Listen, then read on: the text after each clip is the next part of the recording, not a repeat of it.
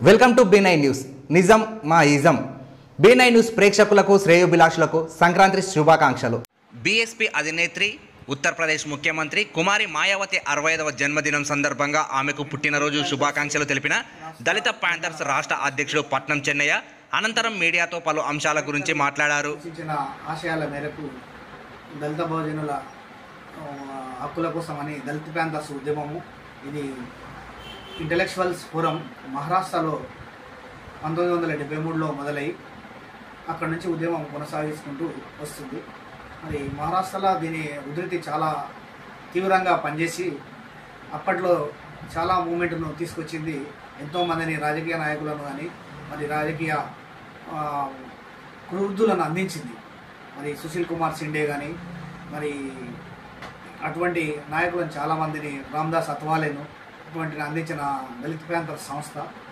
అది African black ప్యాంథర్స్ను ఆదర్శంగా తీసుకొని మహారాష్ట్రలో దళిత్ ప్యాంథర్స్ అనేది ఓపెన్ అయింది.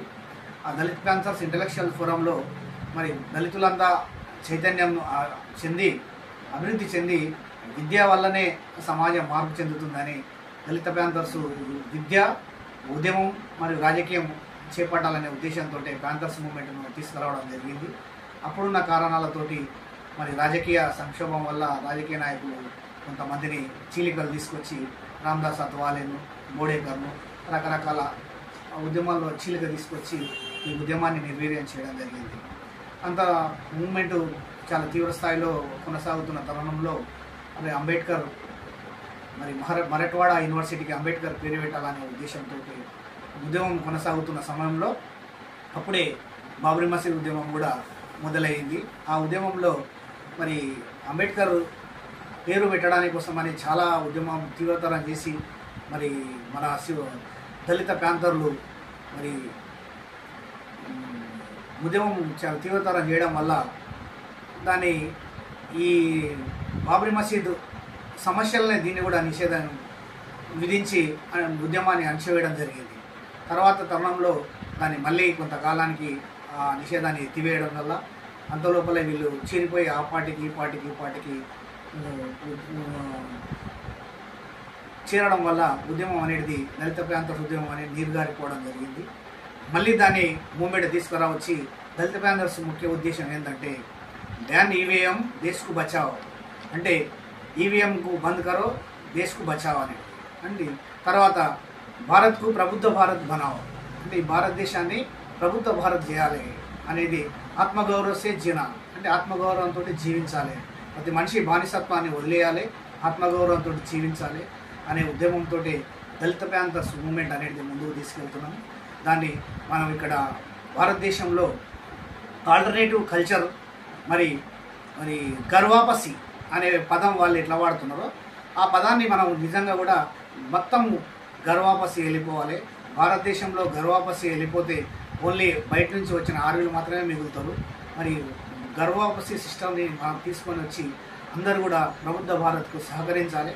మరి గర్వాపసి సిస్టమ్ని మరి అందరూ కూడా కొనసాగించి ఎస్సీ ఎస్టీ బీసీ వీళ్ళు మొత్తం కూడా గర్వాపసి అయిపోయి మరి భారత బౌద్ధ మార్గాన్ని బుద్ధుడు చూపించిన మార్గాన్ని అవలంబించి ప్రపంచ దేశాల్లో బౌద్ధానికి ఉన్న వాల్యూను బౌద్ధాన్ని గుర్తింపును తీసుకురావడానికి భారతదేశం అయితే బేస్ పునాది ఎట్లుందో పుట్టిన దేశంలోనే నిర్వీర్యం కావాల్సిన పరిస్థితి వచ్చింది కాబట్టి దాన్ని మళ్ళీ పునరుద్ధరణకు తీసుకురావాలని అంబేద్కర్ సూచించిన అడుగుజాడల్లో ముందుకు నడుస్తూ మరి బౌద్ధాన్ని ముందుకు తీసుకుపోవడానికి మరియు రాజకీయ ప్రయోజనాల కోసమని రాజకీయ హక్కును మరి రాజ రాజ్యాంగ హక్కును ఓటు హక్కును అంబేద్కర్ కల్పించిన హక్కును మనం అందరం కూడా సద్వినియోగం చేసుకొని రాజకీయ పరంగా కూడా రాజ్యాధికారులు కావాలి ఈ రాజ్యాన్ని పరిపాలించాలి. మరి అంబేద్కర్ ఆశించిన ఎప్పుడో ఒకసారి పాలితుడు అవుతావు రూలర్ అవుతావు అని ఎట్లా చెప్పిండో ఆ ఓట్లు మన ఓట్లు మనం వేసుకొని ఓటు చైతన్యం చేసుకోవాలి. మరి విద్య అభివృద్ధి చెందినప్పుడే ఓటు విలువ తెలుస్తుంది. ఓటును మనం పూర్తి స్థాయిలో ఓటు పూర్తి స్థాయిలో మనం గ్రహించినప్పుడే మన ఓట్లు మనం వేసుకోవాలి. మన సీట్లు మనం సాధించాలి. మన రాజ్యం మనం పరిపాలించుకోవాలి అనడమే ఉంది. తర్వాత మన మతాన్ని ఏదైతే రాజరికమైన మతము ప్రపంచ దేశాల్లో విలసిల్లుతుంది. ఎందుకంటే ఏ రాజ్యం ఏ మతాన్ని అయితే సూచిస్తుందో ఆ మతం అనేది ఆ రాజ్యమతంగా విలసిల్లుతుంది కాబట్టి మనమే రూలర్స్ అయితే మన మతాన్ని ఇంప్లిమెంటేషన్ చేసుకోవడానికి ఆస్కారం ఉంటుంది. అందుకనే అశోకుడు తన మతాన్ని ప్రపంచవ్యాప్తంగా తీసుకుపోయింది అందుకే అదే శిష్టాన్ని కూడా భయం మాయావతి తన యొక్క కాలంలో తన పదవి ఉన్న కాలంలో తన రాజ్యం ఉన్న కాలంలో అశోకుని విధానాలను అవలంబిస్తూ మరి ఉత్తరప్రదేశ్ మొత్తంలో బౌద్ధాన్ని ప్రస్ఫుటం చేయగలిగింది. బౌద్ధ శిలలు మరి బౌద్ధాన్ని నిర్మించడానికి ప్రయత్నం చేసింది. ఒక ప్రయత్నంలో ఆమె సక్సెస్ అయింది. మళ్ళీ అధికారం వస్తే అది దేశమంతా బౌద్ధమయం చేద్దామని ప్రయత్నం చేస్తూ ఉంది.